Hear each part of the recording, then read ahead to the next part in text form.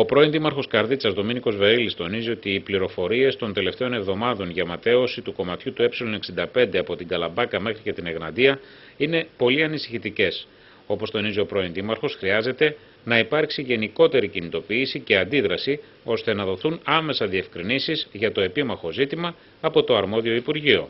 Ίσως ε, ορισμένοι ενοχλούνται από το γεγονός ότι εφόσον γίνει ολοκληρωμένος το ε65 όλη η κίνηση από την Αλβανία, τα Σκόπια, την Κοζάνη, Φλόρινα, Καστοριά ε, καθώς και από Ιγουμενίτσα και όλος ο φόρτος μεταφορικός και συγκοινωνιακός από την ε, Ιταλία εφόσον κατεβαίνουν στην Ιγουμενίτσα θα περνά από την περιοχή μας.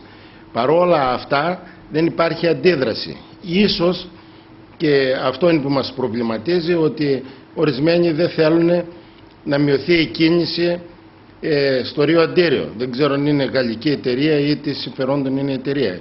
Ίσως ισχύει αυτό που ανέφεραν διάφοροι βουλευτές άλλων περιοχών, ότι θέλουν να ρίξουν τα χρήματα αυτά ε, σε έργα στην Αττική. Σε κάθε περίπτωση όμως πρέπει να υπάρχει αντίδραση όχι μόνο από τους βουλευτές της Καρδίτσας και τον Περιφερειάρχη αλλά από όλους τους φορείς της Καρδίτσας. Χωρίς αυτό το έργο η Καρδίτσα δεν έχει κανένα μέλλον.